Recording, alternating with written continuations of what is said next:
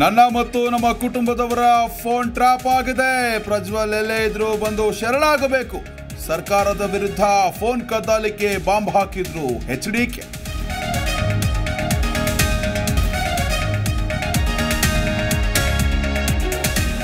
Police ಇಲಾಖೆಯಿಂದ phone trap ಮಾಡಿಲ್ಲ. ಕುಮಾರಸ್ವಾಮಿ ದೂರು ನೀಡಿದ್ರೆ ಕ್ರಮ ಕೈಗೊಳ್ತೇವೆ. ಎಚ್ ಡಿ ಕೆ ಆರೋಪಕ್ಕೆ ಹುಬ್ಬಳ್ಳಿಯಲ್ಲಿ ಪರಮೇಶ್ವರ್ ಟಾಂಗ್.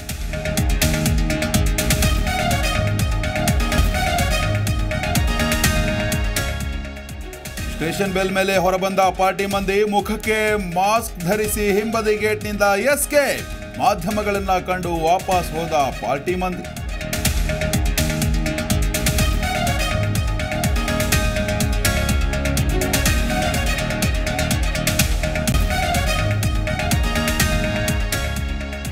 ಹುಬ್ಬಳ್ಳಿಯ ಅಂಜಲಿ ಅಂಬಿಗೇರ ಹತ್ಯೆ ಪ್ರಕರಣ ಹಾವೇರಿಯಲ್ಲಿ ಗಂಗಾ ಮಾತಾ ಸಮಾಜದಿಂದ ಪ್ರತಿಭಟನೆ. ಆರೋಪಿಗೆ ಗಲ್ಲು ಶಿಕ್ಷೆ ವಿಧಿಸುವಂತೆ ಒತ್ತಾಯ.